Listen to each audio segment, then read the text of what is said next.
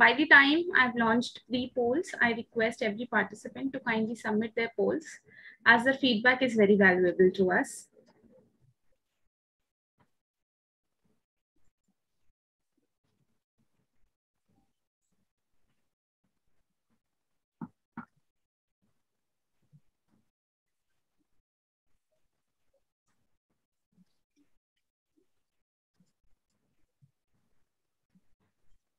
We shall begin. Good evening all. This is Dr. Shubhi from Medical Learning Hub. We welcome you all to a live webinar on recent advances in treatment and management of latent and drug-resistant TB. It gives me immense pleasure to introduce our eminent speakers for today, Dr. Shreeja Nair and Dr. Sanjay Kumar Sinha.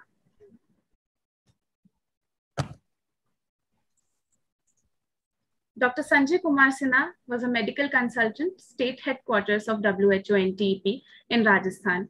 He's currently a work. Uh, he's currently a team lead for World Bank funded State Technical Support Unit Rajasthan under NTEP. Sir has been a, has been facilitated in implementation of services under RNTCP, presently known as NTEP in Rajasthan. Also facilitated under the services of programmatic management of drug-resistant TB PG, PMDT in Rajasthan and also established three CDST labs, four LPA labs, 62 TrueNAT labs, and 31 CBNAT labs with adoption of AIC practice in Rajasthan. He has also been a, a facilitator for establishment of 25 CBNAT labs in adoption of AIC practices in Bihar. He has published many literatures in the esteemed journals. I welcome you, sir, on our platform. It gives me immense pleasure to welcome you. Our next speaker for today is Dr. Shreeja Nair, who is Associate Professor in the Department of Respiratory Medicine, MGM Medical College and Hospital, Navi Mumbai. Ma'am is a diploma holder in pediatric medicine and certified in allergy and immunotherapy. She is a speaker at numerous uh, CMEs conducted in MGM Medical College, Navi Mumbai, and outside the as well as outside the college. Ma'am has published five original research articles in various national and international journals, presented numerous papers in different conferences, including NAPCON and APSR, Japan. Completed advanced course in allergy and immunotherapy in Bangalore. And ma'am has been also been in charge and treating faculty of COVID ICU and wards of MGM Medical College. As for her memberships, she is a life member of National College of Chest Physicians India and member of European Respiratory Society and Asia Pacific Society of Respirology. Her special interests are based out of tuberculosis, sleep medicine, allergy, and interstitial, interstitial lung diseases and pulmonary rehabilitation. I welcome you, ma'am, on our platform. Thank you. As I read the structure of webinar, you have launched pre-poll. I submit. I request all the participants to kindly submit their polls as their feedback is very valuable to us. After I deliver the welcome note, I would hand over the platform to Dr. Shreeja Nair, who would be taking up recent advances in treatment and management of latent TB infection and DRTB.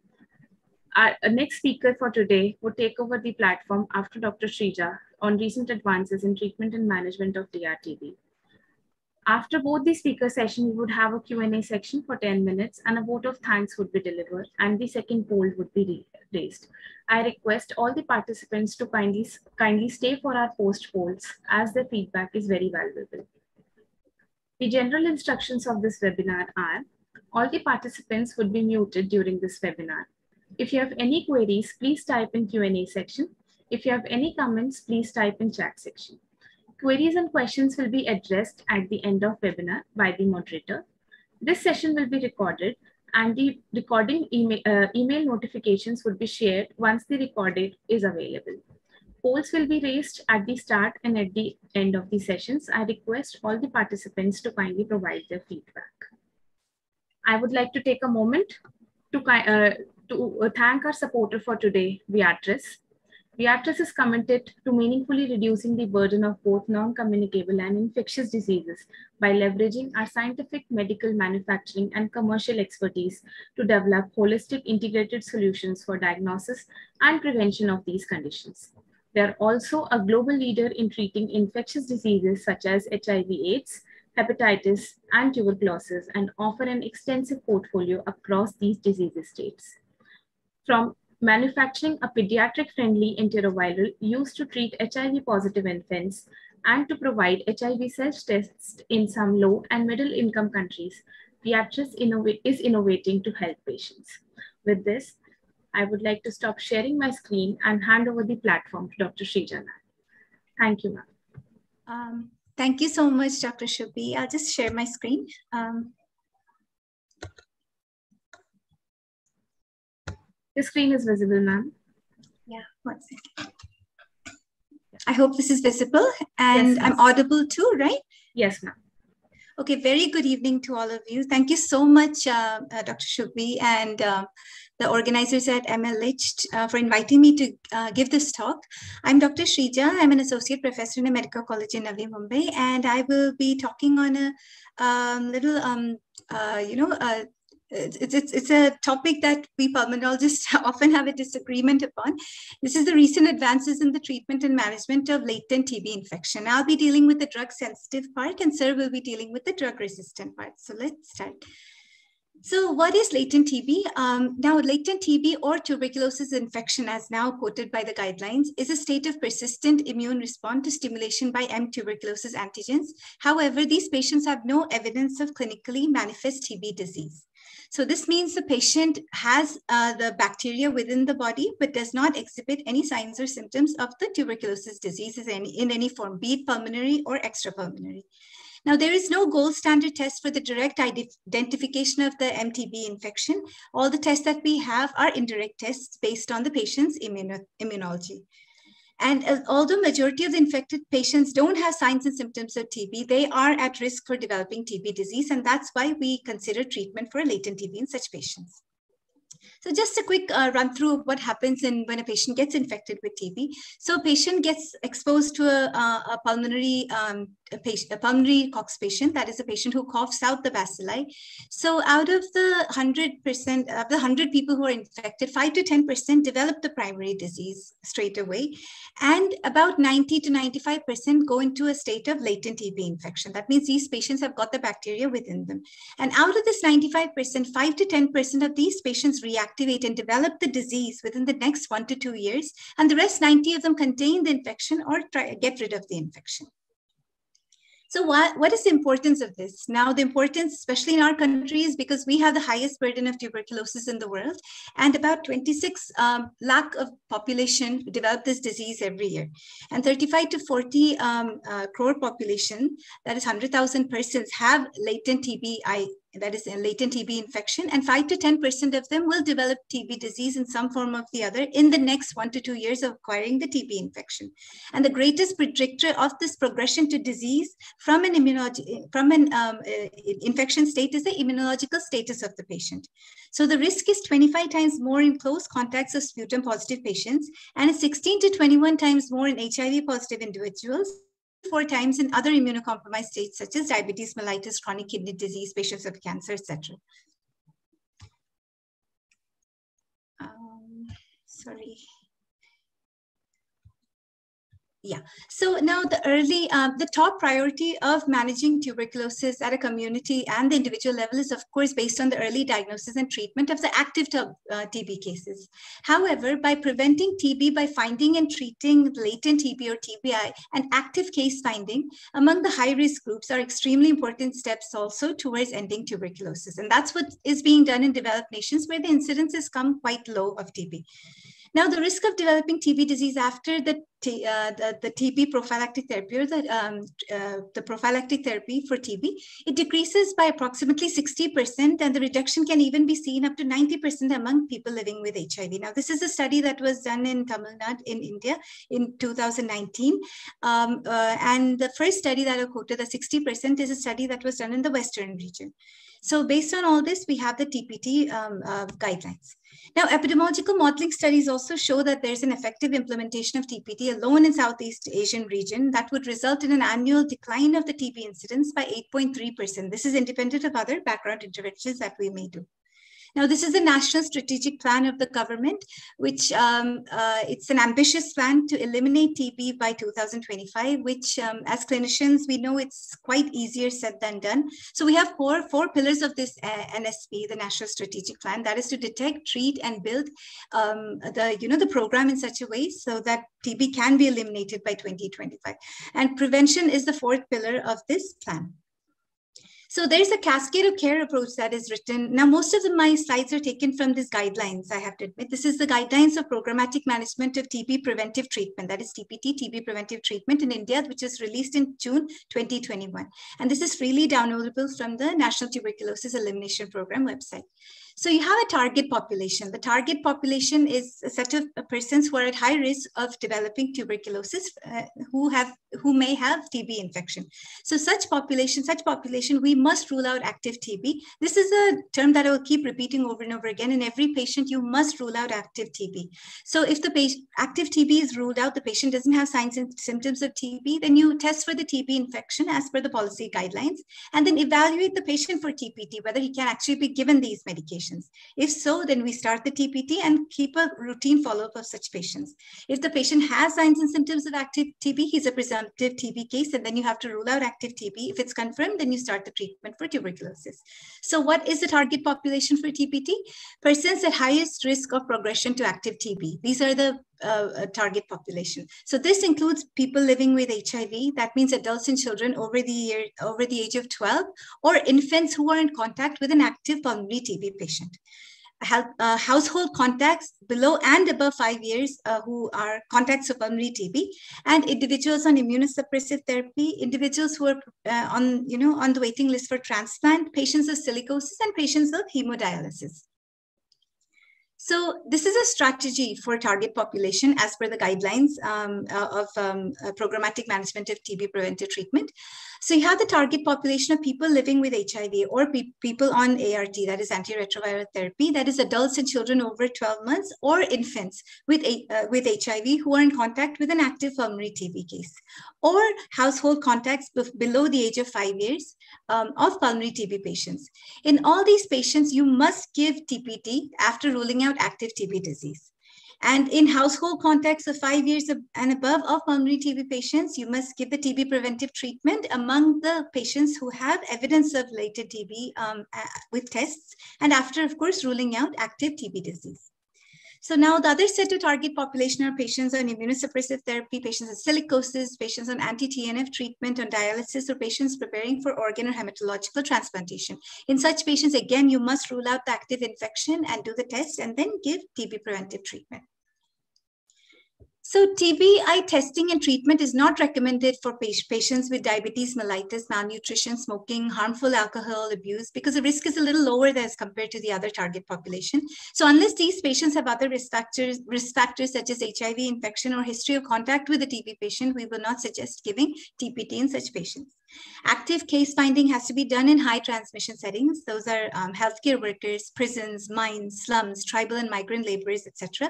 And these people must be prioritized for specific TPT interventions guided by differential TB epidemiology by the state TPT committee if the risk of active TB among them is higher than that of the general population in the respective states. So how do we diagnose um, latent TB or TB infection. Like I said before, there is no gold standard for diagnosis of TBI or for assessing the progression of these patients to disease. So currently the available tests are indirect and uh, indirect tests, and they measure the immune response following TB exposure, requiring an individual to mount an adequate immune response to provide the reliable results. So uh, as most of us know, the available tests we have are the Mantoux test or the tuberculin skin test and the interferon gamma release assays IGRA. Now both tests measure the immune sensitization, that is a delayed type 4 or a delayed type 2 hypersensitivity response.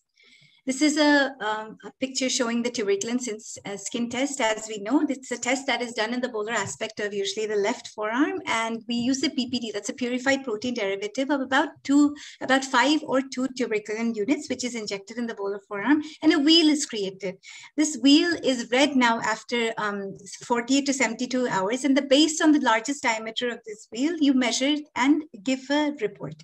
Okay, so now the most common finding to say it's a positive result is something more than 10 mm, which is seen in recent arrivals from a high prevalence country, patients of IV drug users, patients who live in high congregate settings of TB, uh, persons who work in a mycobacterial lab or healthcare workers, and patients with comorbid conditions in children less than four years. However, if it's just 5 mm, it may be positive and considered significant in patients of HIV, patients of recent contact with active TB infection, patients who have all changes of TB on the chest x-ray, and patients with the organ transplant. If it's highly positive, that is more than 15 mm, this is seen in persons with known risk factors of TB, so this is significant. However, this is just to mention that these tests are not used for diagnosing TB per se. It's not used for active TB. It may give you corroboratory evidence, but it's only used in the uh, you know diagnosis or management of LTBI. It's not used for active TB, nor is it used to see the progression of the disease. What are interferon gamma release assays? IGRA or interferon gamma release assays measure the amount of interferon gamma released in vitro by white blood cells when mixed with antigens that are found in MTB, but not in BCG vaccine and non-tuberculous mycobacteria. Now, this is where the IGRA differs from a TST or a Mantoux test, because Mantoux tests may also be found, uh, may come positive in patients who have NTM or patients who are recently vaccinated with BCG. So this is done through enumeration of interferon gamma secreting T cells. This is ELISpot test or um, by ELISA method where the measurement of interferon gamma concentration is seen. These are more specific than the tuberculin uh, skin test as they're not confounded by the previous BCG vaccination and NTM. And ELISA has a similar sensitivity to the TST, whereas ELISpot seems to be more sensitive. So using the degree of exposure to TB as a surrogate for LTBI, both assays correlate at least as well with TB exposure as TST. And now there are recent studies that are going on which show that there's a prognostic power of positive IGRA results in recent contacts for subsequent progression of active disease. But as of now, we do not use this for active disease. I just want to make myself clear on that point. This is just a diagram showing both of them. As you can see, the tube-based method where you have a quantified um, result is seen in quantiferon gold. T-spot TB is based on the uh, done through the enumeration of the lymphocytes. So these are small cartridges in which you get a positive test. But the result is almost the same in both of them. It depends. Some areas have both, and in India, quantiferon gold is more easily available, and the cost ranges from somewhere between 1500 to 2500 per test. So a quick um, uh, comparison. So I think we've uh, said most of this now. The specificity is low in BCG vaccinated TST. It's high in IGRA. The sensitivity is high in both of them. TST is more field friendly. So you can take it into the field and do a mass test on the community, whereas IGRA is you need lab and infrastructure. So that makes it more costly than a TST. But however, TST is a complex old product and you need to know, have a person who can read the, interpret the results properly and it's um, affected by young age in both uh, the tests. And person living with HIV, um, the IGRA may show a lower sensitivity because the HIV and the low CD4 count, because of the low CD4 count in HIV patients. So enumeration and contact tracing of target population needs to be uh, proactively undertaken by the healthcare providers. Now, this can be healthcare providers anywhere. It may be in a health center, it may be in ICTC center, ART centers, it may be in institutions providing care to a specific risk population. Um, and these patients were uh, considered eligible for the TPT using the Pre Prevent TB India app. Now, there is a Prevent TB India app that will be soon available, which is you know, um, it, it, it's there in iOS as well as Android. And this will give you information management and monitoring of TPT and the care cascade as mentioned before. So index TB patients are pulmonary TB patients that are detected through passive, intensified, or active case finding approaches and notified in the Nikshay from the public and private sector.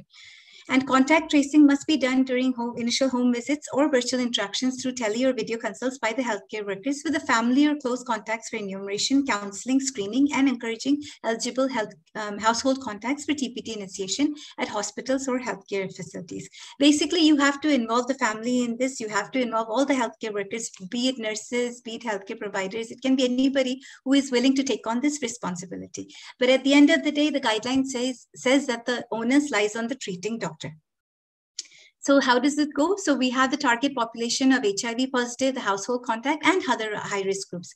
As mentioned, HIV positive, any symptom, any concurrent cough, fever, weight loss, or night sweats, these are the four cardinal symptoms.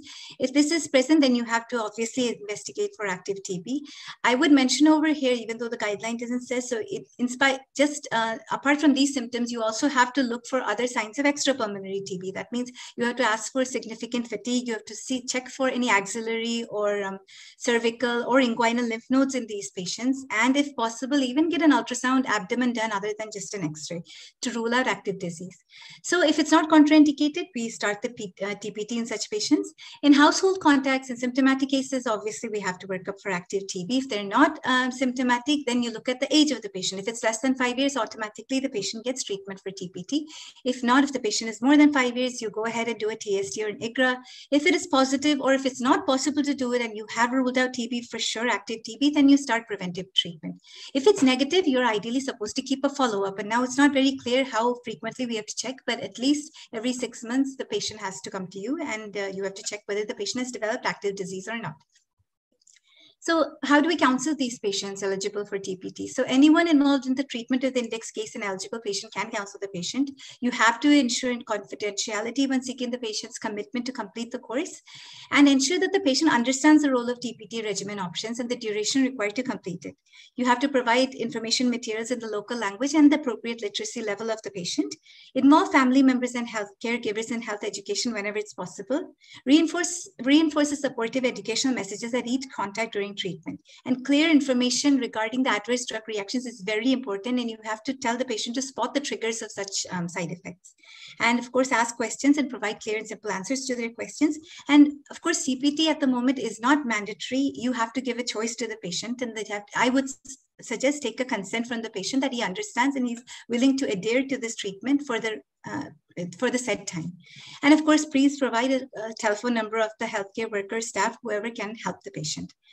Uh, the Nikshay Sampark has a toll-free number. This is 1800 11 6666, which may be provided to index TB patients and, and patients whose uh, family started on TPT. So that this serves as a resource for any time information. This is a toll-free number. They can get information, counseling, any troubleshooting if required, um, so that we can enable TB, TPT initiation, proper follow-up monitoring, and completion.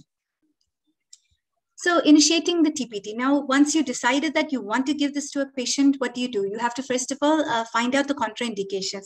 Again, saying this, uh, reiterating it over and over again, rule out active TB disease. Once this is done, you know that the patient doesn't have any signs of TB disease. If the patient doesn't have active hepatitis, active um, evidence of peripheral neuropathy, and if a patient is not an alcoholic or had, doesn't have history of excessive alcohol consumption, you may start the treatment. Why is active hepatitis and peripheral neuropathy important because INH causes, it's a very strong side effect of uh, isoniazid and even the rifamycin, which I'm going to talk about later.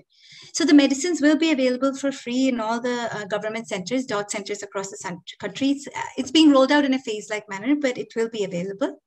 The pre-treatment assessment for TPT initiation includes personal, social, financial, and medication history. Medication history is very important because there are a lot of drug interactions that we'll talk about and also investigation as per the NTP uh, guidelines. Now, things like liver function test is not mandatory, but I would suggest doing it in every patient before you start the treatment.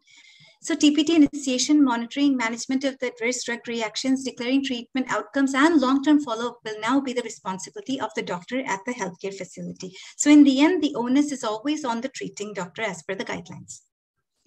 So what are the regimens we have? Now, I'm just going to be talking mostly about the regimens we have in India. Now, the CDC has few other regimens too. All countries have their own regimens, but basically it consists of a combination for drug-sensitive TB. It consists of a combination of either isoniazid alone or isoniazid with one of those rifamycins.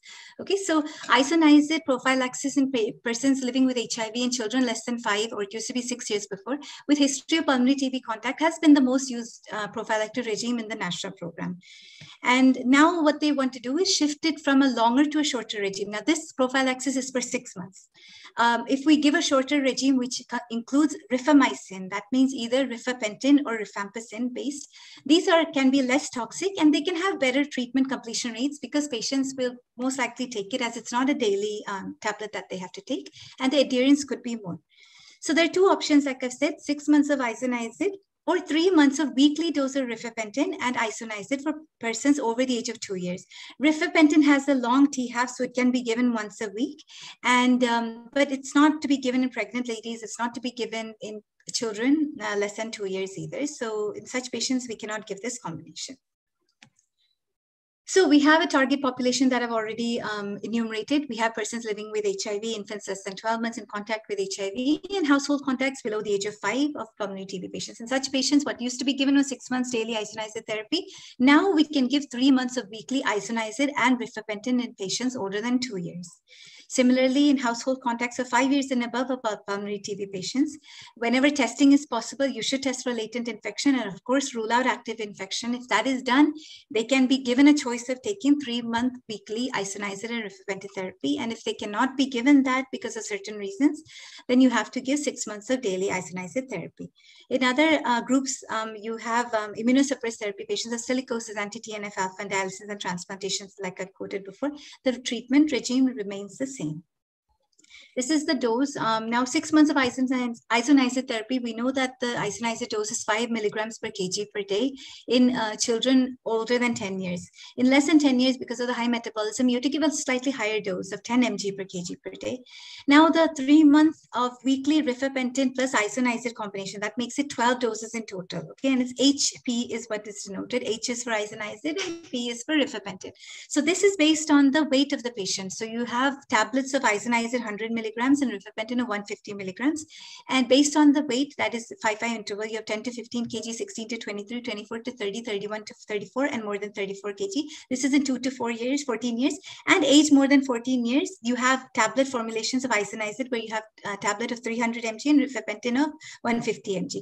Soon the um, program uh, is going to come out with fixed combinations like you have for, you know, even treatment of TB. So that's going to have 150 mg of isoniazid and 150 mg of rifampicin. So that means you can give a maximum dose of 750 mg of both in a patient of 2 to 14 years may weighing more than 34 kg. In a patient more than 14 years, more than the highest weight band is for more than 70 kg, you can give a maximum dose of 900 milligrams of isoniazid and 900 milligrams of rifampicin in a fixed dose combination three times, uh, uh, sorry, uh, uh, uh once in a week for three months.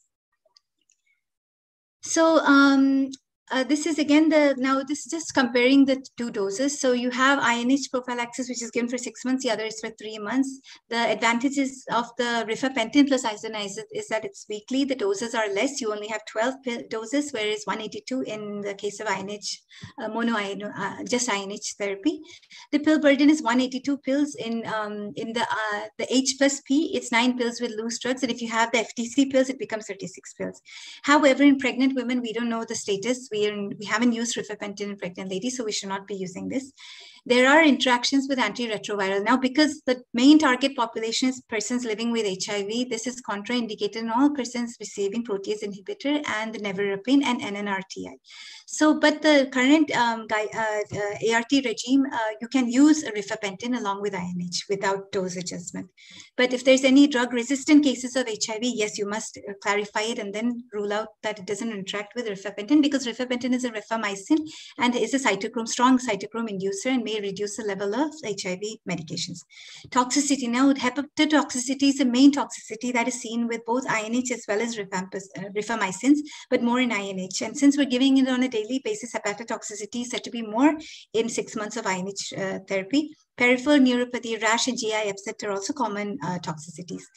In the um, uh, weekly regime of isoniazid and rifampicin, there's flu-like syndrome, hypersensitive reactions, GI upset. These are mentioned, but they're very rare. Um, and since we're giving it once a week, the chances of hepatotoxicity is much less in such patients. Orange discoloration, discoloration of body fluids, is invariably seen with all rifamycin. So there's no need for any stoppage or you know change of treatment. Patients just have to be counseled, and this has to be told before you start taking the treatment. Now, absorption, INH and rifampicin ideally are always given on an empty stomach, but oral rifampicin bioavailability is more, and the peak concentration is shown to be increased if it's given with a meal. So um, this is a CDC recommendation. I just want to make a note of this too, because we do have patients sometimes who come to us and, you know, who need to travel abroad. I, have just recently had a patient who needs to go to the US for further studies. So she was told to get an IGRA. Now, when it comes positive, you cannot give um, uh, six months of INH because that is not, not what is accepted outside. But now the uh, three months of isoniazid plus rifampicin, which is also now given in India, is what the CDC always recommended um, as per the American guidelines. So the they have five, um, you know, um, preferred five treatment regimes uh, for TPT. So the three preferred ones are three months of isoniazid plus rifampicin that's given once weekly, which has strong recommendation. That is what we're going to be following too. Or if not, they can be given four months of rifampicin or three months of rifampicin plus isoniazid given daily. Now, these two are given daily. Only the first one is given weekly. The alternative therapy is what we have six months of isoniazid or nine months of isoniazid given daily, but this is slowly being phased out. So now the dose of rifampicin in such a regime, adults is 10 milligram per kg and children is a little higher, 15 to 20 milligrams per kg per day. So let's quickly talk about the um, adverse effects of isoniazid and the rifamycin because it is important. Isoniazid, the main uh, side effect that you will see is an asymptomatic elevation of serum liver enzymes. Now, when is this important? What you should be looking at is the serum bilirubin uh, concentration as well as the AST uh, or the SGOT and the ALT, which is SGPT levels. Now, you always must get a baseline then. Although the uh, guidelines doesn't say you need to do a baseline LFT before starting TPT, I would advise always get a baseline then because we don't know which patients may uh, you know um, uh, worsen and it's always uh, the hepatitis is based upon the basal level, the baseline level of the AST and ALT. So if there's a three times more um, elevation of the serum enzymes, the liver enzymes, as compared to the baseline, and the patient has symptoms of hepatitis, that is vomiting, nausea, yellow sclera, uh, loss of appetite, then it is significant and you have to stop the treatment. Or if the patient has five times the elevation of the serum liver enzymes but doesn't have any symptoms, this is also important. So you must always look for hepatitis in these patients and peripheral neuropathy is also a very common known side effect of isoniazid. This is seen more in patients of malnourishment. Um, so, uh, but it must be asked for. Uh, symptoms of paresthesia, numbness, limb pain, must be asked for. Skin rash, sleepiness, lethargy, convulsions, pellagra, arthralgia are all um, rare symptoms that may occur. But the main thing you have to keep in mind is your um, hepatitis and your peripheral neuropathy. Now, the rifamycins we're talking about are the rifampicin. What we have here is rifapentine. So we'll just concentrate on that. Mainly the same thing, you have gastrointestinal reactions. You can have hypersensitive reactions, which are more common with the rifamycins as compared to isoniazid. So, um, and uh, rifampicin is notorious for causing decrease in white blood cell count and, you know, causing pancytopenia and also hepatitis, but is seen less in weekly dose of rifapentine. These are all the medications. This is all given in the guidelines, so I will not be elaborating. It'll take too long. But I any uh, drug history is very important when you start a patient because almost many, many drugs, including antiarrhythmics, many antibiotics such as macrolide, anticoagulants, anticonvulsants, antidepressants, antimalarials um, like quinine, antipsychotics, antiretrovirals such as protease inhibitors and NRTIs, azole antifungals, barbiturates, all these medications interfere, um, rifamycins, basically rifapentine also, may interfere with such medications. It's seen more in rifampicin definitely, but um, especially patients of um, childbearing age, females, uh, women who are taking hormonal contraceptions, they must be told that the levels will go down when they're taking rifapentine. So you must give them some other form of contraception. So some special considerations, pregnant ladies can be given isoniazid and rifampicin, but not um, uh, uh, rifapentine, sorry. Rifamycins uh, reduce the effect of hormonal contraceptives, like I mentioned. Rifampicin or rifapentine TPT regimen should not be co-administered, uh, like I said, with protease inhibitors or nevirapine or NNRTIs. BCG vaccination can be given when the patient is on TPT. So a child who has been who needs vaccination can be given vaccination. Rifamycins reduce the concentration of many, many medications, like I mentioned, including even hepatitis C drugs. And patients on drug uh, dependence, such as opium dependence, must be followed up strictly because, again, uh, the levels of um, the you know the um, the drug may go down in the um, patient and patients may exhibit signs of withdrawal so such patients must be kept on close follow-up this will be dealt with, sir, the context of DRTB, but I just want to make a few little mention of some salient points. Now, we know that monodrug resistant, multi-drug resistant, pre-XDR, XDR-TB, XDR-TB is extensively drug-resistant TB. Polydrug resistance are all serious forms of TB that take longer to treat, and the drugs for these treatment have more side effects. And it's shown that the prevalence of MDR TB in uh, those with TBI are more than double among young among young people, that is younger than 15 years. And household contacts of patients with MDR or uh, rifampicin resistant TB or H. mono resistance are at higher risk of TBI than contacts exposed to drug sensitive TB. However, but the risk of progression to the TB disease remains the same. I think this is mainly because the MDR or you know um, XDR TB takes longer to treat. Even the intensive phase is much longer than a um, uh, than a a drug sensitive case. So such patients will be throwing out the bacilli for a longer time as compared to a patient of drug sensitive TB. So such household contacts will have more exposure and may have a higher risk of TBI. So these are some determinants of the success of the program. So at the individual and the population level, the adherence is the most important. If the patient is not adherent to the TPT course and the treatment completion, there's no point taking the treatment. So irregular or inadequate treatment reduces the protective efficacy of the regimen and poor adherence or early cessation of the treatment can potentially increase the risk of individuals developing TB, including drug-resistant TB. So the efficacy as per the program is stated that if at least 80% of the doses are taken within 133% of the prescribed prescribed duration of the regimen, then it may be efficacious. For example, I'll give you an example. Like um, you have six months of uh, daily isoniazid. So the total duration is six months. The expected number of doses in this six months is 180. So even if the patient takes 144 doses within the expected 33% extra time, that is 239 days, within 239 days, it may be considered that it's a successful completion of the treatment. How do we monitor these patients? They have to be followed up every month in person or by video call. Patients with pre-existing liver disease or significant alcohol consumption, you have to check LFTs periodically. That means at least monthly. And uh, monitoring for breakdown to active TB during the TPT or post-TPT for long-term follow-up should be done at 6, 12, 18, and 24 months by the doctor or the staff in the hospital. So some closing remarks from my side. I want to just state that tuberculosis is everyone's problem. It is not just the WHO's problem. It's not the you know community medicine or the respiratory medicine's problem. It's every doctor and every person's problem, actually. So we have to join together to help fight it in every way possible. So wherever you're working, please be vigilant towards the high-risk patients who are most, more likely to progress to active TB in the near future. There are four, four cardinal symptoms of TB disease, that is cough, fever, weight loss, and night sweats. But understand that there are many other signs and symptoms, and active TB is very hard to rule out, especially extrapulmonary TB, which is a big chunk of the TB population in our country. So if you can, do check for the cervical lymphadenopathy, do look for axillary lymphadenopathy, do look for inguinal lymphadenopathy, at least get an, along with an x-ray, try to get an ultrasound abdomen also done and be very vigilant in your um, follow-ups of the patient. And if in any doubt, never hesitate to refer to the nearest medical college or to a chest physician in your town or city so the patient can be evaluated by a doctor that's specialized in tuberculosis. I will leave you with this pertinent uh, saying uh, that Dr. Roberts uh, mentioned in his address in the Berlin Physiological Society on 24th March 1882. We know that 24 4th March is observed as uh, World Tuberculosis Day. And he said this on that day, that if the importance of a disease for mankind is measured by the number of fatalities it causes, then tuberculosis must be considered much more important than those most feared infectious diseases such as plague, cholera, and the like. One in seven of all human beings dies from tuberculosis. Of course, this number has gone down drastically thanks to chemoprophylaxis and the chemotherapy that we have for TB.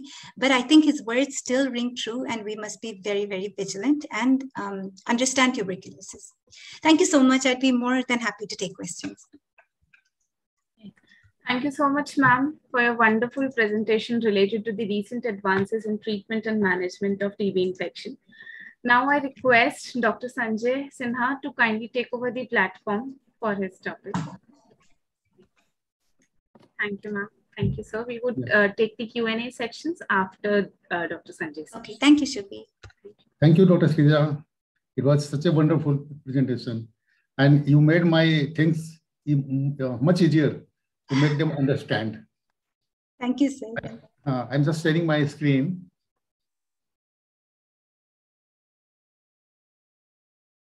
Is it visible? Uh, yes, sir. The screen is visible. Okay. Yes. Uh, actually, uh, today is the day for the latent TB. And uh, it is for the treatment of infection, both in drug-sensitive TB as well as uh, drug-resistant TB. So uh, what I am going to make presentation, it is on the preventive treatment in DRTB contacts and I am following the guidelines uh, which is being followed in the country. So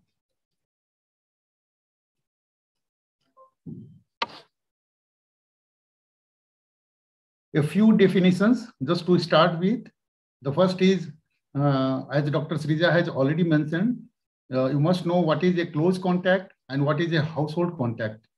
So a close, contact, uh, a close contact is who is not in the household but shares an enclosed space. So uh, there may be a member, your neighbor, he may, be, uh, he may be coming to you just to have some discussion or playing cards or for anything. For extended periods during, uh, during the day with the index TB patient during the three months before commencement of the current TB treatment episode. So uh, the household contact is who is in the same house, who is uh, living uh, in the same house as the index TB patient for one or more nights. They are the household contacts. So there is a difference between close contact as well as household contact.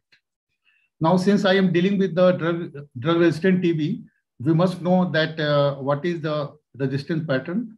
Uh, we have got two important drugs. There are uh, five uh, first-line uh, TB drugs. Uh, they are isoniazid, rifampicin, pyrazinamide, ethambutol, and streptomycin injection. But the two very important drugs are isoniazid and rifampicin. So uh, we have got two type of resistance. One is isoniazid resistant TB, means a TB patient whose biological specimen is resistance to isoniazid, but he is sensitive to rifampicin. So this is the situation number one. And the situation number two is multi-drug resistance. Most of the time, we use this uh, term very liberally, means any patient of uh, any resistance we call them MDR. But actually, it is not so. MDR means he is resistant to isoniazid and rifampicin, both medicines, both drugs. With or without resistance to other first-line drugs, he may be resistant to ethambutol or sensitive, it hardly matters, but he is resistant to both H and R. The next step is pre-extensively drug resistance TB. This is the new term, uh, pre-XDR, uh, here we have got another drug that is known as fluoroquinolone. So if the patient is resistant to H and R and fluoroquinolone, he is, uh, he is considered to be uh, suffering from pre-XDR TB. Because uh, FQ, this fluoroquinolone medicines like uh, levofloxacin or moxifloxacin, they are very important second line drugs. And the third, uh, the last term is extensively drug resistance TB, XDR TB. We were also using uh, this term previously, but with the advent of newer drugs, newer treatment regimens, now this definition has been changed. Now it is MDR or RRTB plus resistance to any fluoroquinolone, either levofloxacin or moxi, and then at least one additional group A drug uh, the all the medicines uh, for the uh, for the uh, treatment of DRTB, they have been uh, divided into three groups, A, B, C. So the main group is A, where we have got that uh, medicine bedaquiline and linezolid. So if the patient is resistant to all these, then we call them XDRTB. So with definition, we can go ahead. So what is the, since now we were giving the treatment to the person suffering from DRTB. But now the program has also initiated uh, treatment in DRTB contacts, but it is not throughout the country. It has started in a phased manner. And now the trial is going on two states, Gujarat and uh, Karnataka. And then it will be uh, further extended to many other states. So what is the rationale? The rationale is uh, though uh, the mathematical modeling, it suggests that three in every 1,000 people, they carry MDR TB infection. The prevalence of MDR TB in those with TB infection is more than double among those younger than 15 years, means more common in adults. And then household contacts of patients with MDR and RR or H resistant patient, they are at higher risk of TB infection than contacts exposed to drug sensitive TB. So uh, the government, uh, uh, there was a WHO consolidated guideline on TB prevention, uh, preventive TB, uh, treatment of 2020, and the government has followed uh, followed that guidelines. And this guideline was it was implemented in 2021 in the later months of 2021. So there was a systematic review and meta-analysis after that uh, it, it, was found that there is a reduced risk of TB incidence with treatment for MDR TB infection. And, and also it suggested that if it, uh, it is effective in prevention of progression to MDR TB. And this MDR TB incidence, there was uh, the reduction was 90% from five studies. Actually, uh, there was 10 studies uh, it was conducted, but actually uh, the uh, in another five studies, the number the number of sample or the number of uh, the number of people it was quite less. So those five were discarded, and and considering considering the study from these five years five studies, it was thought that it is it is proper to have this uh, uh, preventive treatment also for the drug resistant tuberculosis. And uh, mm, in this preventive treatment, pyrazinamide was not included because it was found that the rate of adverse effect, it was quite high who were having this pyrazinamide. So WHO, right now we don't have uh, too much of evidence. So different studies are in pipeline. So uh, right now WHO, uh, WHO has recommended TPT only for two conditions. One is MDR-TB with FQ sensitive, means if, uh, if I am rifampicin resistance or if I am HNR resistance, both, but I am sensitive to fluoroquinolones, then I am eligible for this preventive treatment. The other is I am resistant to isoniazid, but sensitive to rifampicin. So we have got uh, three medicines, levofloxacin, isoniazid, and rifampicin. So if I am MDR-TB, but I am sensitive to fluoroquinolones, I will be given for six months for levofloxacin. If I am susceptible to isoniazid, but uh, I am uh, uh confirmed rifampicin uh, resistant TB patient, I am eligible for six months of isoniazid. And if I am uh, sensitive to rifampicin, but I am resistant to isoniazid, then I am eligible for rifampicin for four months. So right now, these three medicines, these three regimens, they are being uh, uh, they are being implemented. And uh, what Dr. Shreeja told that you will have to follow the, the patient clinically, whether he has, uh, uh, whether the patient is taking the uh, preventive treatment or not, we must follow them for at least two years just to see the recurrence. And the, there are three main studies in the pipeline. One is known as TB CHAMP. Here, here they are comparing the placebo with six months of levofloxacin in infants and less than five years of age exposed to MDR-TB. The other study is known as V-QUIN, where they are uh, giving 24 weeks of levofloxacin versus placebo. And it is in all ages. And the other study is known as Phoenix, where they are giving 26 weeks of delamanid versus Isonex. Because right now we are giving isoniazid. So instead of Isonex, they are giving their delamanid in, in all the age groups. So these are the different studies going on. This has been discussed by Dr. Shreeja. Uh, this is the integrated algorithm. You must see that uh, the contact, uh, the, the most important thing is counseling.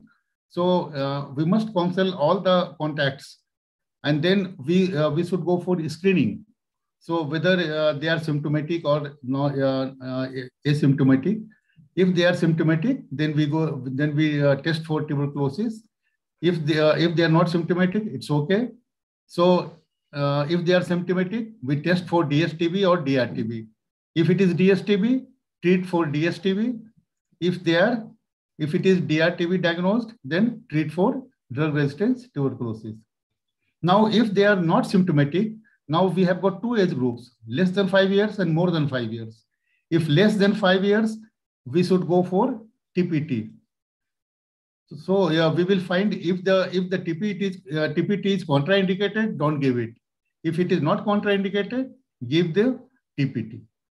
If it is more than five years, as Dr. Uh, Shreeja told, that we must go for uh, some investigation, and the, it is TST or IGRA. If the, uh, if the uh, negative, uh, we must uh, then follow up the uh, patient for active TB whenever necessary. And if it is, uh, if it is, if these tests are positive, then we go for screening by X-ray.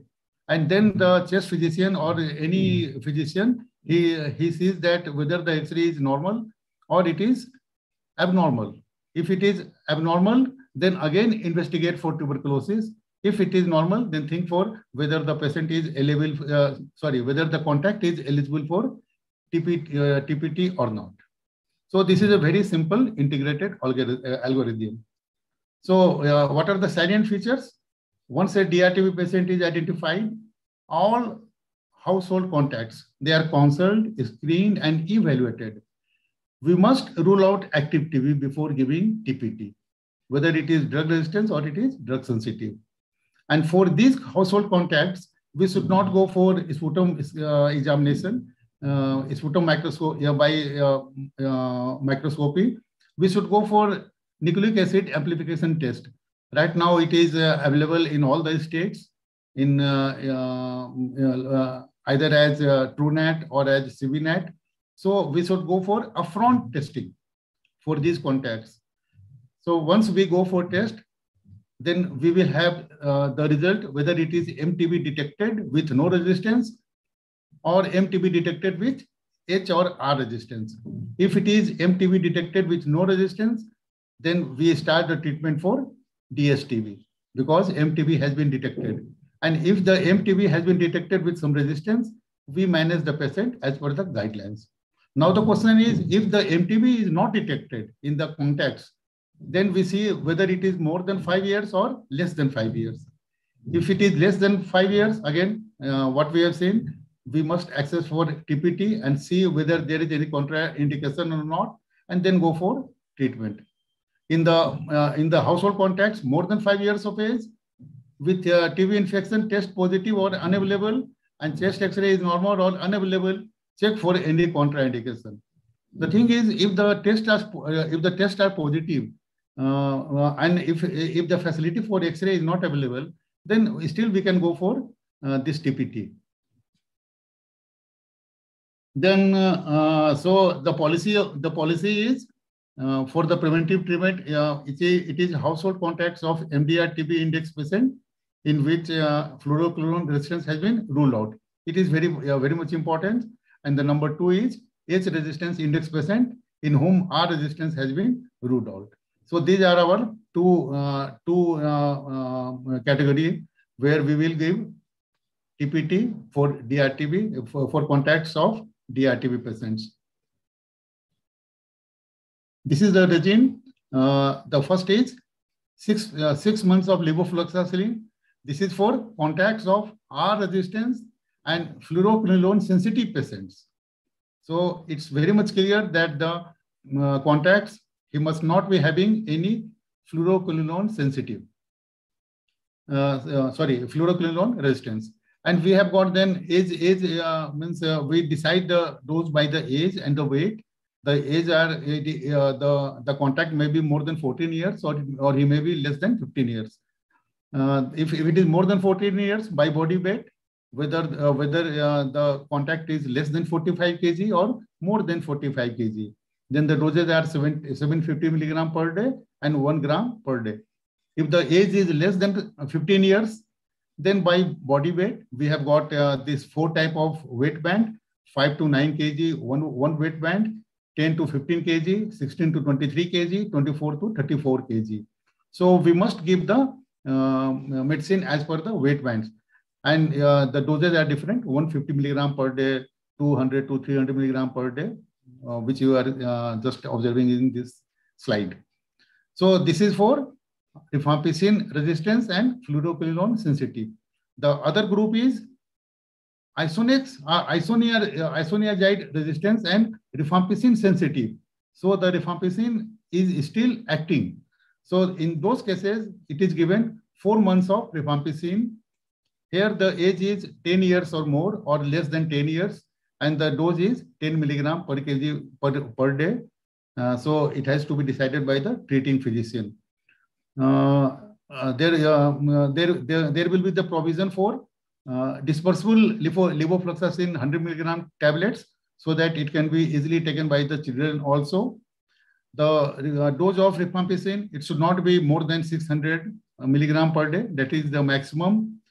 And uh, if the uh, if the uh, six six six months of Isoniax it can also be considered if the uh, patient is RRTB with fluoroquinolone sensitive with isoniazide sensitive. In that case, we can also consider isoniazide for six months. Once we start the treatment, we must uh, monitor the uh, treatment. So uh, the main concern is whether the patient is uh, uh, is going to be uh, going to become a, a, case of TB or not. So always go for the screening with four symptoms. Uh, it is cough, fever, night sweats, and weight loss. Just uh, also monitor whether the whether these contacts they are having any side effects or not. We should not use the term patient.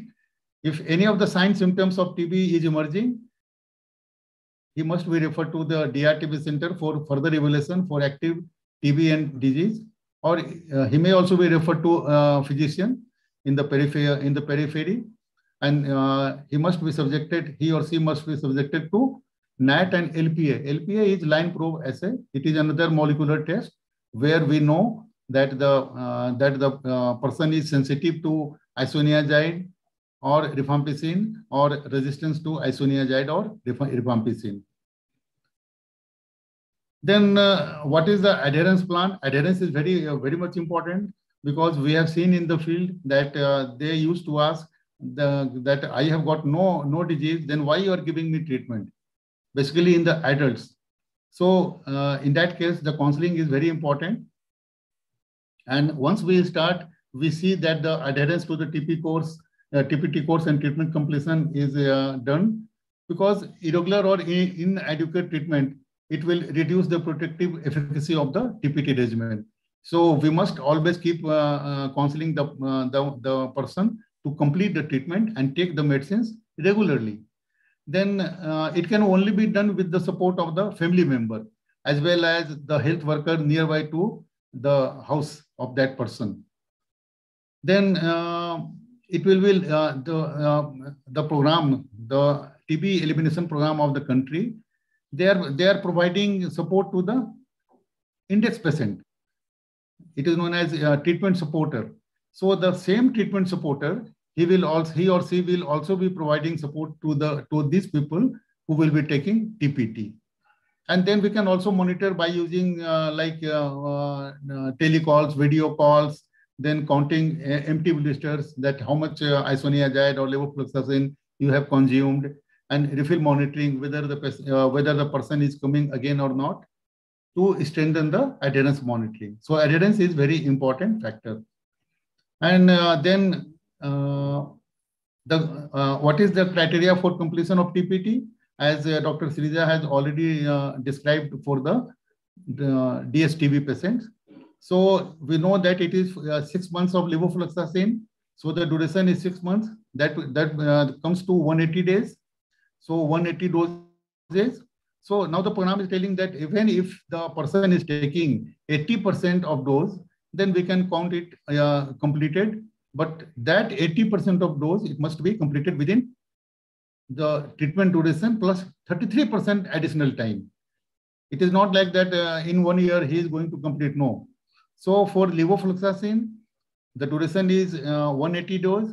So 80% becomes 144 dose. So if the person is completing 144 dose in 239 days, then it is uh, uh, it is considered to be completed. Similarly, for the rifampicin, its dose is for uh, four uh, four months or 120 doses. The 80% is 96 doses. So if 96 dose is completed in 160 days, then it is considered to be completed.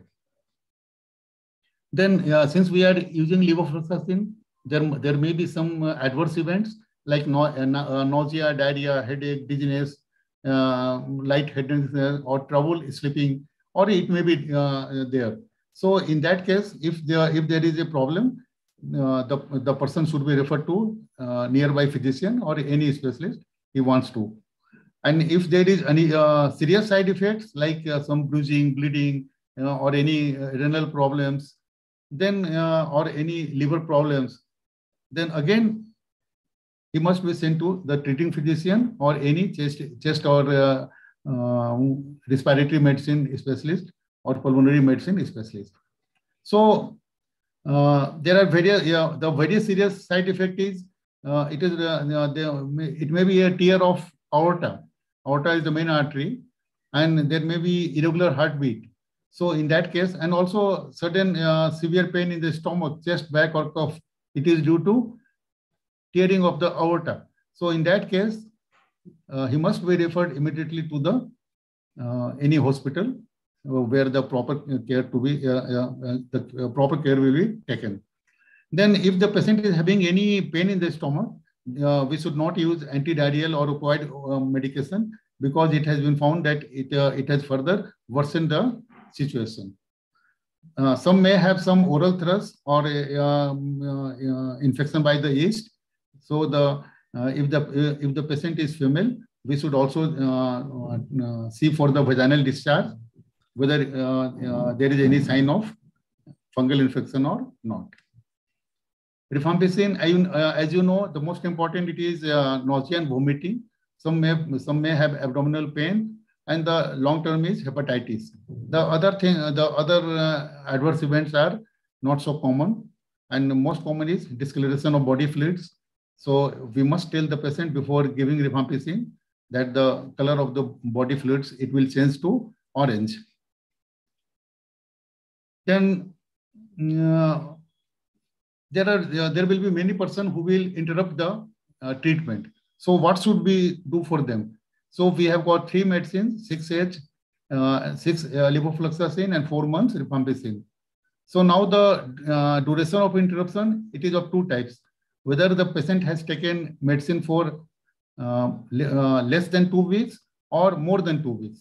If the person has taken uh, the medicine for the for less than two weeks and he is coming to you, then nothing to do. Just just continue with the with the treatment and all those missed doses, suppose he has missed for seven days or uh, four days, then just add another four days of medicines. Means uh, the duration will be, it will be 180, 180 doses, but it will be completed in 184 days or 187 days, whatever the interruption may be. If the person is coming who has taken, uh, whose interruption is more than two weeks, then we will see that whether they, uh, he has taken more than 80% of doses or less than 80% of doses. If he has taken already more than 80% of doses, then we should continue and complete the remaining treatment doses in the course. Same is, if it is less than 80% of doses, then we will see what is the treatment, uh, treatment duration plus 33% of additional time, as we discussed earlier. In that case, we will continue and complete the remaining treatment dosage in the course. If it is less than 80% of the uh, doses expected in the regimen uh, were taken, and the treatment course cannot be completed within expected time, like uh, 139 days or something like that, then we should start re, uh, uh, refresh. Means uh, we should forget the previous doses and we should start again for that, that person area, since we have uh, initiated medicines, the treatment, so there must be a treatment outcome for that. So what are the treatment outcome of the TB preventive treatment? So when will uh, when we will tell that the uh, patient has completed the treatment? So as discussed earlier, we have got six uh, uh we have got six months of isoniazid, six months of uh, levofloxacin, and four months of rifampicin. So uh, if he uh, if he if he has completed 144 uh, doses of levoflux sorry isoniazid in, in 239 dose or 144 doses of uh, levofloxacin in six months uh, uh, in in 239 doses then we uh, then we call it as a treatment completed. And for the rifampicin it should be it should be 96 doses. It should be completed within 160 days then we call it treatment completed. The other uh, treatment outcomes are treatment failed. Like uh, uh, if the person is uh, initiated on TPT and uh, during the course of this treatment, he develops active TB disease. Then we call that this TPT uh, treatment has failed. Then died. While, while during, the, during this treatment, if the person has died due to any reason, not due to not due to tuberculosis. He may he may have died in any road accident also. Then the outcome is called as died. And the other is lost to follow up, means those person who have interrupted the treatment. So the, again, there are two, uh, uh, two, two points here. If the if the person has interrupted for uh, for more than eight consecutive weeks, more than two months, it is uh, uh, for uh, means when his when the treatment duration is six months either it is for isoniazid or for the levofloxacin. If that person he has interrupted the treatment for more than eight weeks then he is known as lost to follow up in the case of 3hp or in case of four months of rifampicin this period is four consecutive weeks because here the duration of treatment is less then there may be, uh, means while during the treatment, the patient may have some adverse event, maybe some toxicity like hepatitis or something like any, any drug-drug interaction. Then that TPT, it may be discontinued. And in that case, the outcome will be TPT discontinuation due to toxicity. Then there may be some, uh, uh, some people also that uh, after two or three months, they must have migrated to some place and, uh, and we don't know what happened to them in, uh, in, in those cases, the treatment outcome will be not evaluated. So these are the treatment outcome once we have started. So this is a, uh, in very brief about the management of uh, um, latent TB in uh, DRTB for the contacts. So uh, the main thing is uh, we have to go for the prevention aspect also because we were uh, treating the disease since last so many years. But uh, if we if you really want to eliminate the tuberculosis, we have to treat the latent TB also. So then only uh, the TB can be uh, uh, eliminated from the country. Thank you. Thank you very much. Thank you so much, sir, for your wonderful presentation related to the recent advancements of TB. Now, I would like to request Dr. Shreeja to the platform for the Q&A section most of the questions are being answered by ma'am. Uh, yeah, sorry, I couldn't control myself. I just yeah, thought no, I would.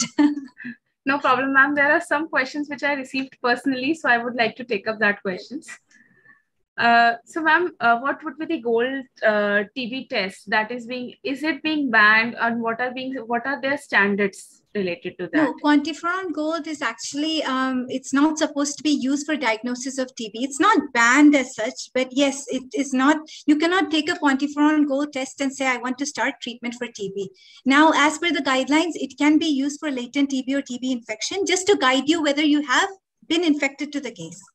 Okay, so what has to be very clear is that doctors should not use it for diagnosis of TB. So if you feel a person has TB, you must work them up for TB per se. So if you feel the patient has symptoms of fever, cough, to X-ray karalo. X-ray mein kuch nahi hai, to get your sputum done. Sputum is foremost. You have to get a sputum, AFB smear, and gene expert. CBNAAT is now the first line of treatment. That has to be done. If that comes negative, still there are lesions on the chest X-ray. You must get a CT scan done. If sputum, if uh, even after repeating once doesn't come positive, you must go for further tests such as bronchoscopy and take out the alveolar lavage or the bronchial aspirate.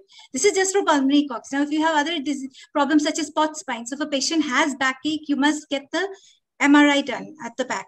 If you feel the patient has any swelling, the swelling has to be palpated and FNAC has to be done and sent for cytology and looked for AFB smear as well as for GeneXpert and MGIT, which is a culture. So I'm just trying to say that this IGRA and TST are not banned per se, but they're not to be used for treatment. It's only used for detection of latent TB. Uh, so just to just to yes. summarize uh, what Dr. Sridhar told, we should use this test only for diagnosis of infection of tuberculosis, not the disease, yes. and it is being used in the program. The, the, the, the tests which are banned uh, initially, which was used like uh, IgG, IG, IgM for diagnosis of tuberculosis. Those have been banned. So, sir, talking about IGRA, so are these tests performed equally well in the persons related to HIV or any person who is immunosuppressed? Uh, or uh, what could be the uh, clinical significance or the specificity of uh, IGRA test?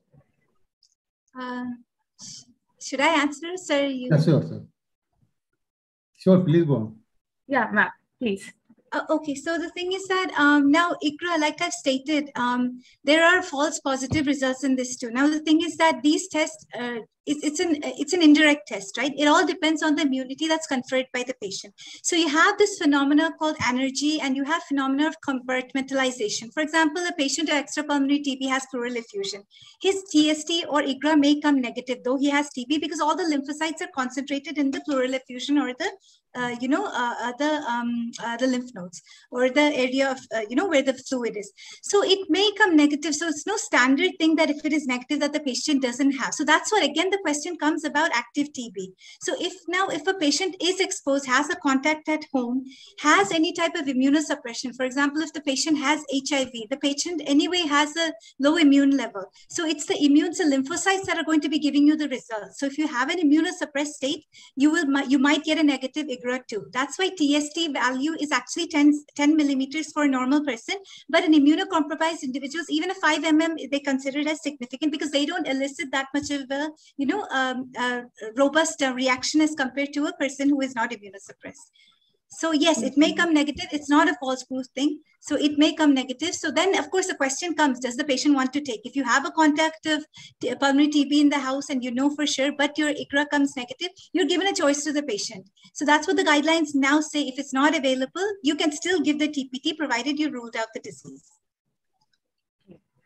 Thank you for your wonderful answer. Sir, would you like to add something, sir? Sanjay sir? Yeah, yeah, yeah. Uh, I just want to say, means uh, right now it is, it is being uh, implemented in the country since last uh, more than five years. And the only thing is that uh, whenever PLHIV, they are coming to the ART centers, they are being screened for tuberculosis by the four symptom complex. So they are not, they are not going undergoing uh, IGRA test. And once uh, the TB has been ruled out, then they are being given this IPT means isoniazid preventive uh, treatment for six months. Okay. Uh, thank you, sir. So, sir, what would be the prevention protocol of a person who is working in closely with a TB patient, like a healthcare professional who is working closely with a TB patient? So, how can it be prevented? So, that's a question asked. yeah, that's a uh, means very important question, which is being neglected in the uh, real practice. So there is one uh, thing is it is known as airborne infection control. The first thing is uh, means if you are a, uh, if you are a physician if you, and if you are seeing any patient, you must see that whether your chamber is well ventilated or not. If uh, the, the person who is coming who is coughing, uh, he must have he must be putting some mask on his uh, on his face, and you just means don't have face to face with him. So this use of mask it is very important thing and and for the because we are susceptible to tuberculosis we are working with the tb patients. So uh, right now we are in the vulnerable group also. So we should be screened for tb also i'm uh, at least annually by uh, means by the symptoms by the x-ray Definitely, so prevention is always better than cure. Yeah, yeah. I think Dr. Shreeja will add something more. Yeah. No, no, sir. I totally agree with you. And apart from the, like you said, um, well ventilated chambers with at least 12 to 15 exchanges is what they say. And I feel even for respiratory residents who are, you know, performing procedures such as bronchoscopy, there's a, it's a high airborne, you know, high aerosol transmission. Now, in many of the times it's done in suites and in OT, and it's not really possible to have the air exchange. So I would say wear an N95 mask at all times. So some things, you know, and of course, keep a good immunity. You have to sleep well, eat well, exercise. At the end of the day, it's immune system who can protect you. So yeah. it is the first thing means uh, uh, we are told that uh, whenever you are going to uh, hospital, you must have something inside your stomach. Uh, it, it, uh, it, should not be empty. And like Corona has taught taught us very good thing to use the mask. Yes, sir. Very true, sir. Uh, so, sir, talking about COVID, so can COVID uh, 19 increase the risk of reactivation of latent TB? Yeah, sure. So that's why uh, now the government has issued a direction for the bidirectional screening. So all those all those patients who were tested for COVID, their samples should also be tested for tuberculosis. And it has been found that uh, in those cases, uh, patient has also been diagnosed as a case of tuberculosis. Uh, so, ma'am, any insights regarding that? Uh, what sir said is very true. Now, as per guidelines, you any patient uh, of you know SARI, you have to test. If COVID is positive, you have to test for TB, and ideally TB patients maybe COVID check karna hai. So you have to do that. And yes, it has been seen. Like I've been dealing with COVID since the pandemic, and I've seen many patients come with reactivation of TB. I think it's because of that transient immunosuppression that happens in COVID. So yes, many patients who recover do exhibit signs of TB within one to two months. Yeah. Again, it's all due to the immune phenomena. So. Yeah, as you said, immunity matters a lot. Yes. Uh, so, ma'am, just taking up the last question. So, uh, we talked about TST, tuberculin uh, skin test. So, what is the uh, relativity and specificity of TST as compared to uh, IGRA? Now, TST is a test that is uh, very um, subjective. Okay, so it has to be done intradermally. A wheal has to be created. If it is done exactly as uh, you know it's supposed to be, if the PPD is not within, it's not expired. If it's a five tuberculin unit, then it is as sensitive as an IGRA. It's not. It's not inferior to an IGRA, but it's not as specific um, because it it, it, it uh, so a person who has been recently um, vaccinated with BCG or a patient who harbors non-tubercular mycobacteria, uh, in even in those patients, it may come positive. So sensitivity is almost the same. It's more than 90% sensitive, but specificity is a little lower than IGRA. And also, uh, means the, uh, also in, uh, in our country, where more than 40% of population, they are infected. So in adult, uh, it should not be used for diagnosis of tuberculosis. Yes, it's, it's not to not be used in diagnosis. IGRA and TST should not be used for diagnosis. It's only for latent TB. Uh, thank you, ma'am. That was indeed a wonderful session for Q&A. Thank you, sir, for your time. Thank you, ma'am. With this, I would now like to proceed for vote of thanks. By the time we have raised post-poll, I request every participant to kindly submit their polls by the time I proceed with the vote of thanks. So with gratitude and immense pleasure, I would now like to thank Dr. Sanjay Kumar Sinha and Dr. Shreeja Nair for sharing their valuable opinion on TB awareness and survivorship we really are in a dire need for spreading these information across the community. I would like to thank uh, Viatris for supporting us over this and thank you all the participants for being a patient audience and being with us. So we have a series of upcoming uh, CMEs on breast and prostate oncology and tuberculosis. To keep yourself updated, please subscribe to our newsletter and like and subscribe us on Facebook, Telegram, LinkedIn, and Instagram. Thank you, ma'am, and thank you, sir, for your valuable thank time. Thank, thank you, thank you, so Thank you, Suvi, and thank you, Shreeja, for such an. Thank you so much, sir. It was wonderful yeah. interacting with you too. Thank you so much to the audience as well. I had lots. Yeah. We learned a lot too, I think, by interacting. Yeah, sure, sure. Thank you so much, Dr. Shubhi. Thank, thank you. Thank you, ma'am. Bye. Good night. Good night.